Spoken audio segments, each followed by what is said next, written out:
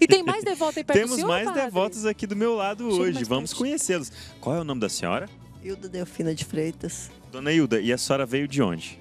De Santa Vitória, Minas Gerais. Minas Gerais, povo bom, o povo de Minas Gerais é povo bom. Temos muitos devotos de Minas Gerais Sim. aqui. Todo dia a gente está tropeçando em mineiro aqui no santuário. Louvado seja Deus. Louvado seja Deus. E Dona Hilda, é a primeira experiência no santuário? Não, as du- é a segunda vez. A segunda vez. A senhora veio hoje pedir e agradecer. Te agradecer e dar uma contribuição que eu já dei ali. No...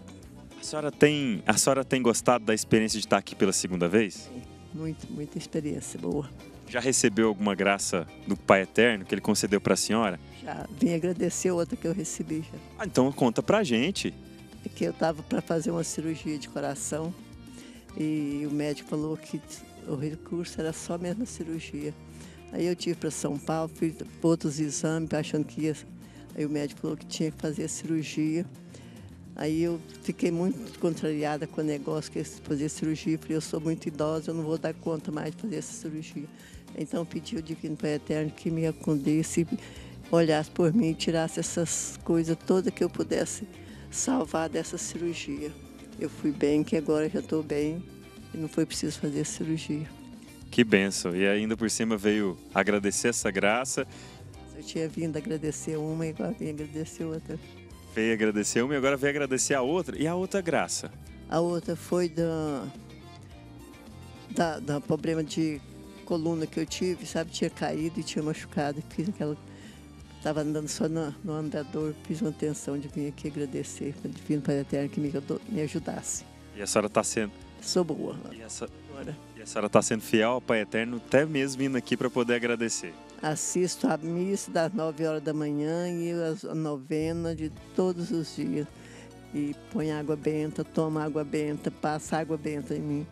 Tem muito agradecimento ao, de- ao Divino Pai Eterno.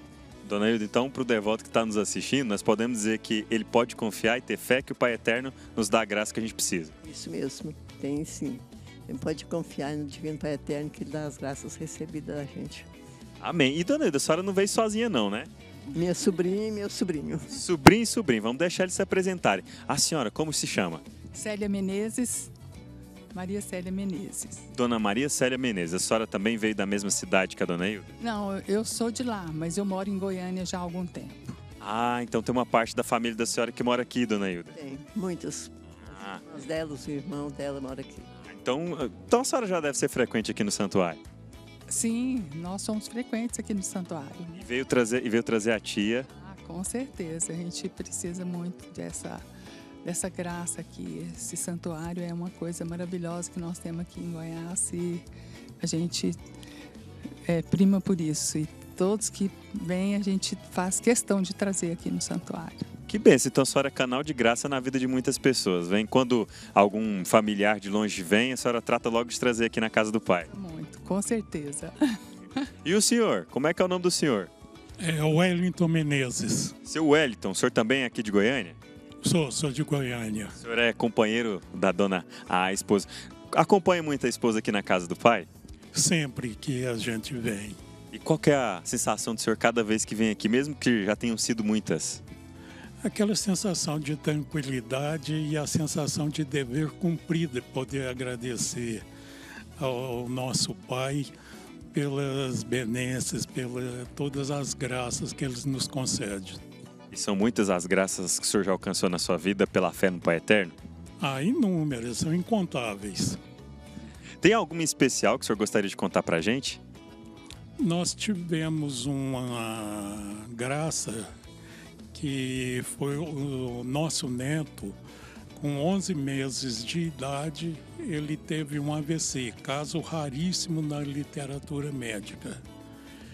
E todo mundo rezando, pedindo para ele, os médicos não sabiam o porquê que era.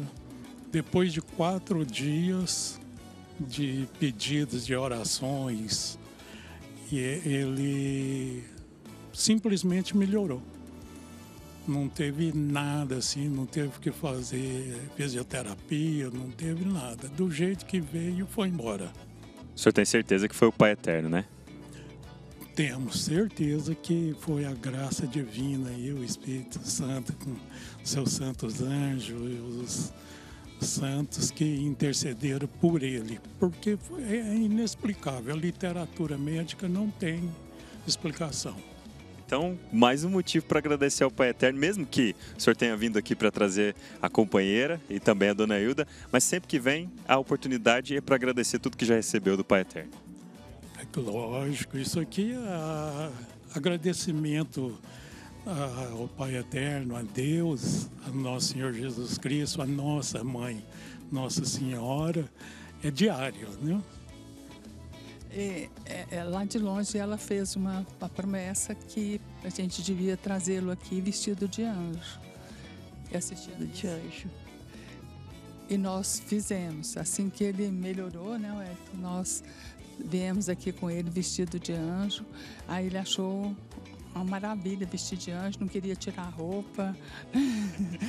e foi muito. Cumprimos a promessa que ela fez. Tem, tem, quanto tempo que vocês trouxeram ele aqui?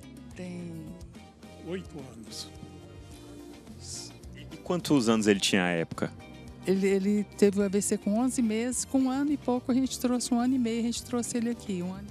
Hoje ele deve ter, deve ter quase 10 anos então? Nove anos. Nove anos. Então, nove anos e desde então ele também tem frequentado o santuário?